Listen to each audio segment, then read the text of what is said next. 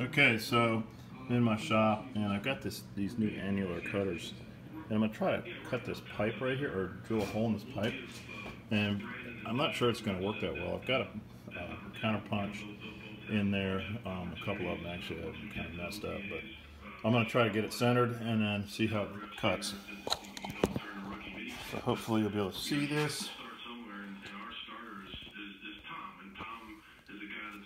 Alright, so let's just see how close we are. That looks about right, so go at it. Um, someplace down here cutting oil. There we go.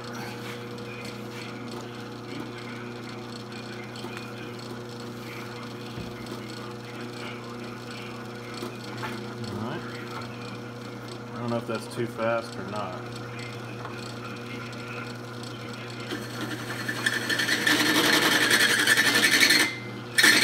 I think it's too fast.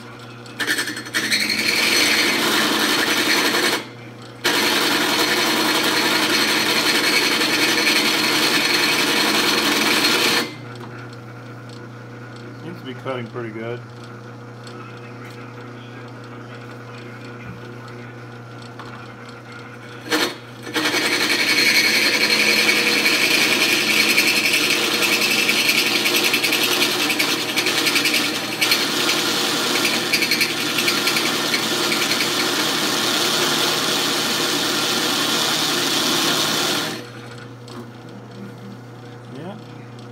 Almost done.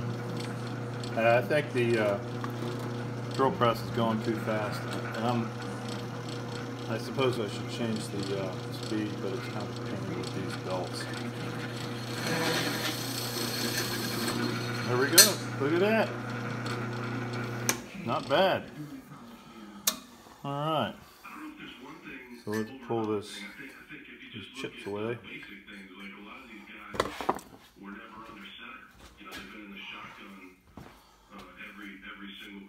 Boy, that's a pretty damn good hole. Check it out.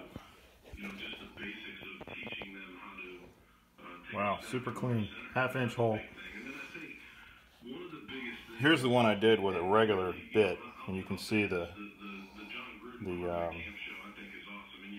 little tear out there. So I did that with a hand drill, and it was a pain. Wow, that was pretty good. So now I got to do is uh, I got to figure out how to get the other side done. That's going to be less. It's not going to be trivial. I think what I'm going to do is take a long bit and drill through a real small hole, or maybe punch from the other side. I'm not sure. So I've got to line those up. It's going to be interesting.